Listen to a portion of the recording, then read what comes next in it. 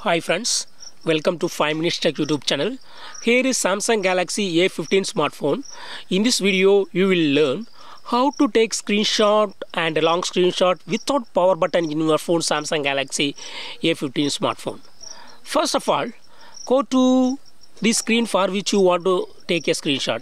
Here I am going to Google Chrome and I go to my own website faculty on faculty on facultyon.com this is my own website for listing faculty and teachers job. Here itself i would like to take a screenshot without power button. So there are three methods for taking screenshots without power button. Use palm swipe okay? With your palm swipe from the left side to right side of the screen or right side to the right side to left side of the screen. So screenshot will be taken. See the demo now screenshot screenshot is taken now. Now right side to left side. Screenshot is taken.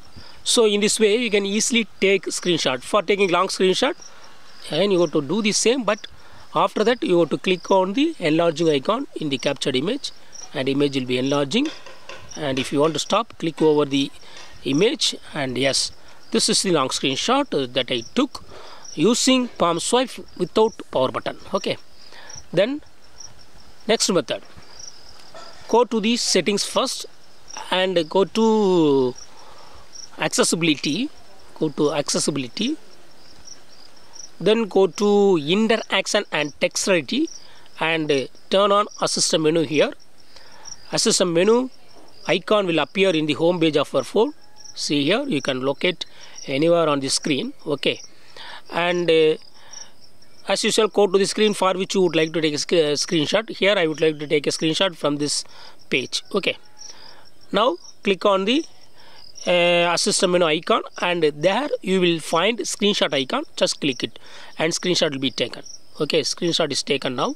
For taking long screenshot again you go to do the same and click on enlarging icon here. Image will be enlarging.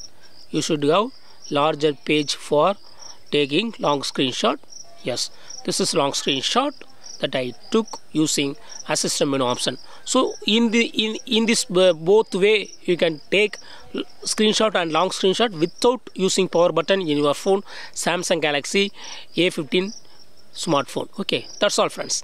Thanks for watching. Bye